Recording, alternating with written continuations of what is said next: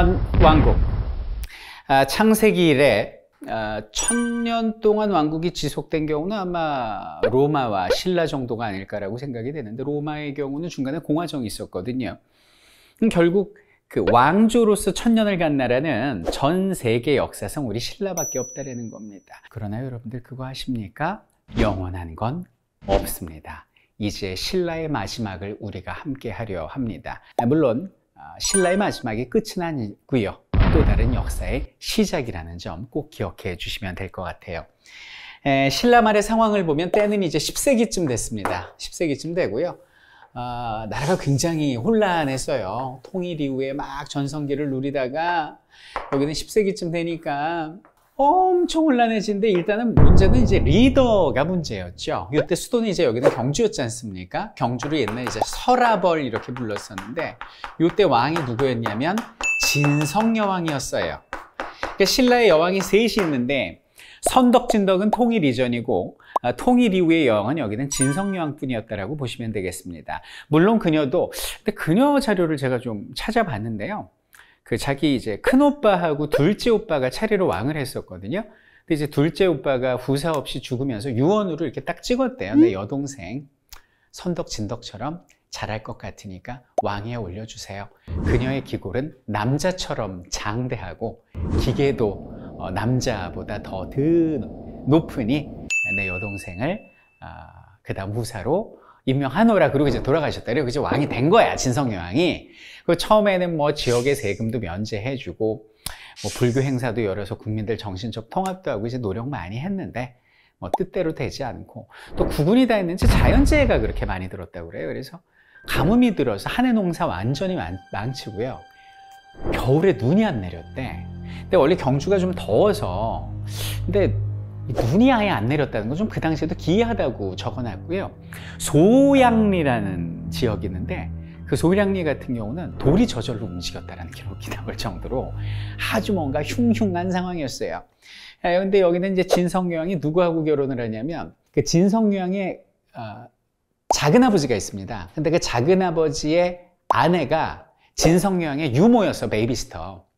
근데 그 유모가 죽은 거예요. 죽었으니까 유모의 남편이자 자신의 작은 아버지인 그 위홍을 찾아가서 위로를 해줘요.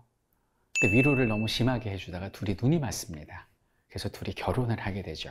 근데 오늘날 우리가 보면 토가 나오는데 그 당시 신라에서 뭐 근친상간은 혈통을 유지하는 하나의 수단이었기 때문에 전혀 문제가 되지 않고 그걸로 흠을 잡을 수는 없다라는 거야. 근데 문제는 뭐냐면 그이가 떠나간 거예요. 그 다음이 문제야. 그래서 기록에 보면 뭐 젊은 남자 뭐 두세 명을 항상 주변에 두고 맨날 술만 먹고 그런 향락적인 생활을 했다라고 돼 있거든요. 이러다 보니까 뭐 여기는 백성들이 난리가 난 거지라고 막 여기저기서 난이 벌어지게 됩니다. 그래서 우리나라 역사 최초로 농민의 난이 벌어지는데요. 원종 에노란 사람이 난을 벌여요. 그게 바로 진성여왕 때 벌어진 원종 에노의 난이 됩니다. 근데 어떻게 어떻게 해서 그걸 진압을 했거든. 근데 이번에는 빨간 바지를 입은 사람들이 난을 벌였다 그래서 적고적의 난이라는 게 벌어져요. 그러면 여기저기서 난리도 아닌 거지. 그러다 보니까 여기는 신라 중앙정부는 전체를 관장하다가 이렇게 경주를 중심으로 쪼그라들게 되고요.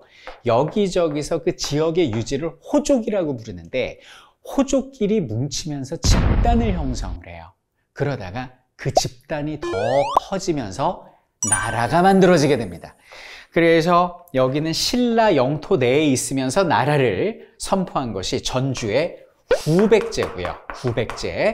요 후백제의 왕이 오늘 우리 이야기의 주인공 견훤이다. 이렇게 보시면 되는 거예요. 자, 근데 이제 견훤이 나라를 만드니까 야, 나라는 너만 만드니 나도 만든다. 야, 그러면서 여기는 신라 왕실의 후예였던 누군지 아시죠? 여기는 눈, 그 한 짝밖에 없는 궁예가 여기에 이제 후고구려를 만들게 돼요. 개성을 중심으로. 어, 궁예가 만들었단 말이지. 그런데 여기는 궁예는 난폭한 정치를 하다가 결국 어, 내쫓기게 되고 그 부하였던 왕건이 왕건이 왕이 되면서 후고구려의 이름을 뭘로 바꿔요? 고려로 바꾸게 되었다 이런 거야. 대략 상황이 이래. 에? 예? 그래가지고 10세기가 되면서 통일신라는 다시 세계 나라로 쪼개지게 되었으니 이 시대를 우리는 뭐라고 불러요? 신라의 막바지, 그리고 고려 직전인 구, 삼국의 시대다. 이렇게 말하는 거야. 이게. 아, 자, 그러면 오늘 이야기는 전체적인 배경을 봤으니 여기는 견훤의 생애에 초점을 맞춰서 어, 그는 어떤 삶을 살았고 우리가 그에게서 얻을 수 있는 교훈은 무엇인지를 한번 살펴보도록 하겠습니다.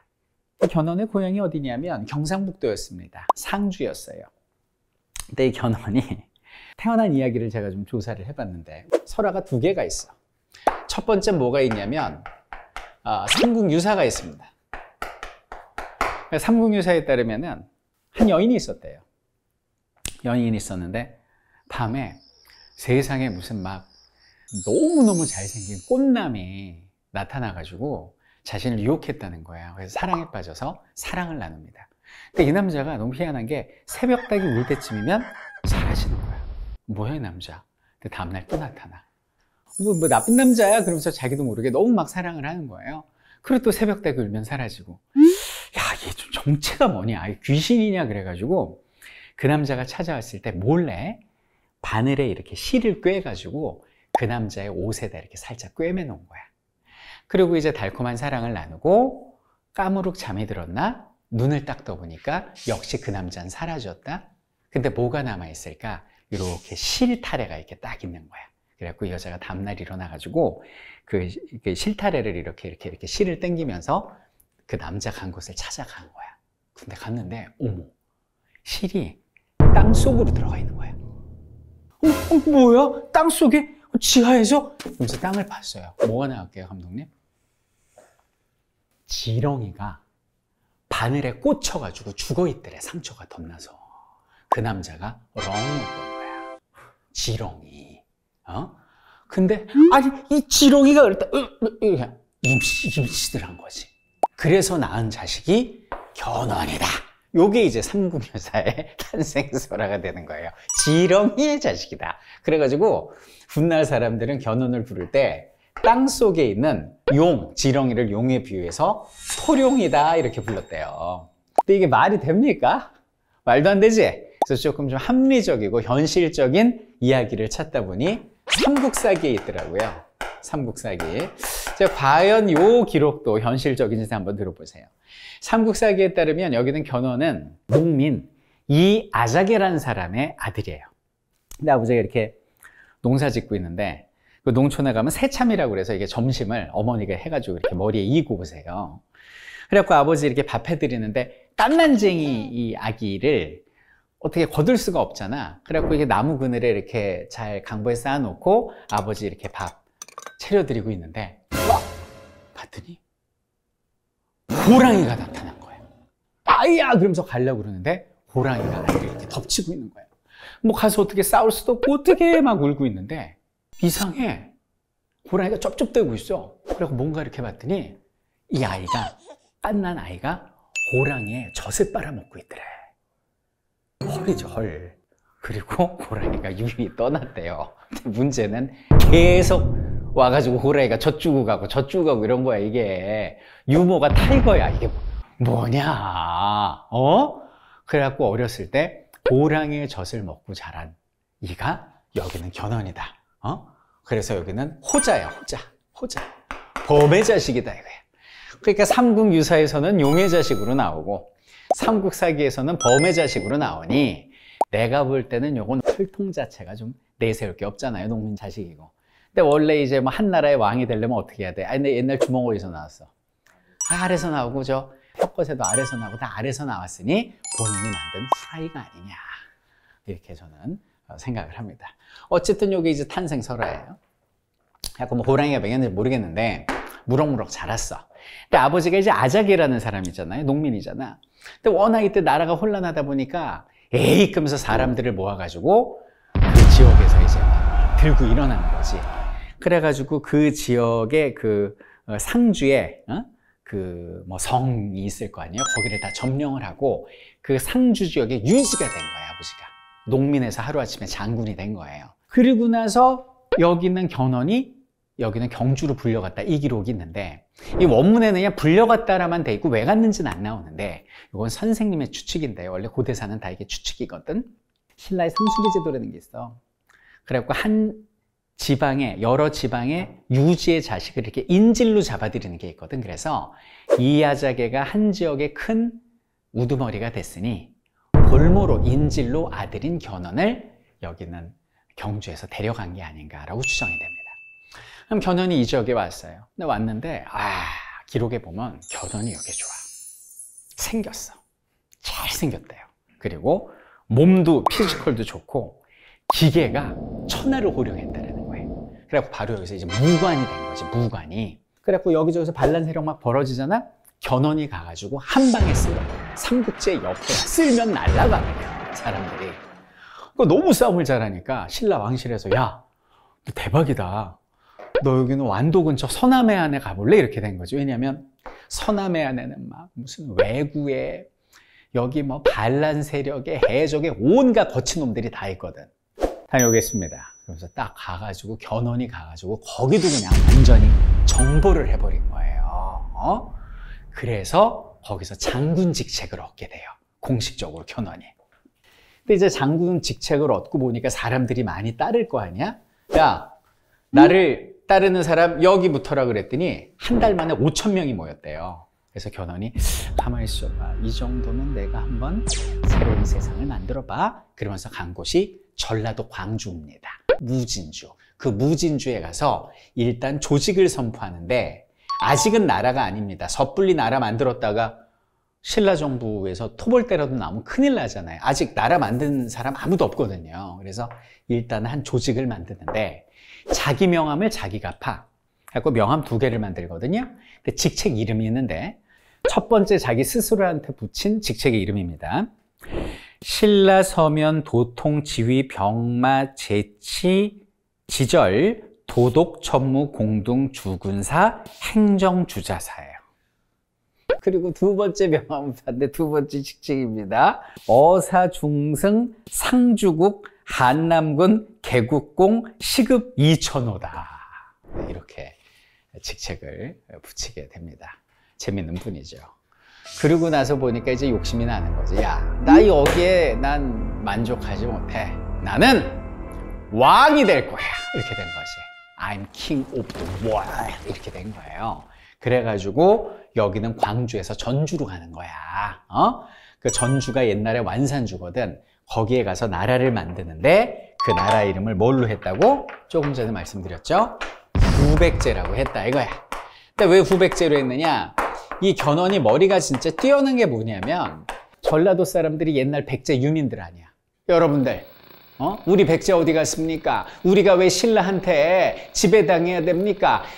백제 영광을 다시 한번 again 백제 그러면서 국호를 딱 후백제로 지어버린 이게 좋은 거야 이렇게 어? 그래갖고 이제 후백제란 나라를 딱 만드니까 여기는 신라 왕실의 우선 궁예가 가만히 있겠어요? 야 너만 나라 만드냐? 나도 만들지. 그래서 만들어진 게 후고구려고 그게 나중에 뭘로 바뀌었다? 왕건의 고려로 바뀌었다. 이렇게 보시면 되는 거지. 근데 문제는 뭐냐면 여기는 견훤의 목표는 결국 뭡니까? 여기는 신라 먹는 거예요. 이건 뭐 처음엔 보이지도 않았고. 왕건의 목표도 나름 이제 삼국 통일이었겠죠. 근데 이게 노선이 다른 게 왕건은요 약간 친신라 정책이고 얘는 반신라 정책이야. 신라 왕실을 굴복시키는데 얘는 어떤 역할을 하냐? 햇빛 역할을 하고 얘는 어떤 역할을 하면 바람 역할을 합니다. 여러분들 사람은 외투를 벗기는데 바람으로 벗길 수 있습니까? 더 추우니까 움츠러들지. 햇빛은 어때요? 따뜻하게 비추면 스스로 더워서 옷을 벗듯이 여기는 신라 사람, 이제 뭐 신라는 완전히 맛이 갔지. 이 신라 사람들, 경주 사람들은 왕건한테 마음이 점점 가고 있었대요. 그게 여기 있는 어? 견훤 입장에선 기분 좋아? 나쁘지. 그러니까 견훤이 이 자식들이 그러면서 바로 기습을 쳐버립니다.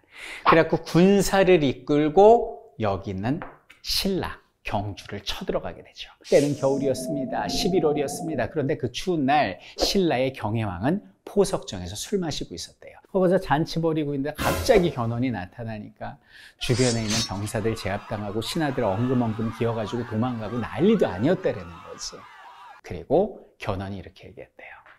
어이, 들고 있던 칼을 휙 던져주면서 인간은 누구나 죽어. 그 죽음이. 이렇게 된 거죠. 그래서 스스로 목숨을 끊게 합니다. 그래갖고 신라의 경영은 어쩔 수 없이 자결을 해요. 이거는 자살을 가장한 타살입니다. 견훤이 죽인 거예요. 그리고 나서 여기는 군부를 딱 불러가지고 야 내가 너 왕시켜 줄 테니까 말 들을 거야 안 들을 거야? 아, 아, 완전히 듣겠습니다. 이렇게 된 거지. 그래가지고 여기는 신라의 왕을 경순왕으로 본인이 앉죠. 경순왕으로 본인이 앉힙니다. 그래서 여기를 완전히 먹었다고 생각을 했는데 안 돼! 그러면서 백마탄 왕자가 신라를 구하겠다고 달려 내려옵니다. 누굴까요? 바로 왕건입니다. 여기는 경혜왕이 죽은 걸 아는지 모르는지 여기는 신라를 지켜주겠다고 왕건의 군대가 달려옵니다. 여기는 견훤은 칼을 뽑아듭니다. 왕건 올 것이 왔군 언젠가는 한번 겨뤄보고 싶어서 한판 붙자! 그러면서 둘이 한판 붙어요. 어디서 붙느냐? 바로 공산전투. 오늘날 대구에서 붙게 됩니다. 자, 견훤과 왕건, 왕건과 견훤의 대격돌. 지금 대구에서 붙게 되는데요. 자, 그곳의 승자는 과연 누가 될지 그 결과 다음 시간에 공개됩니다.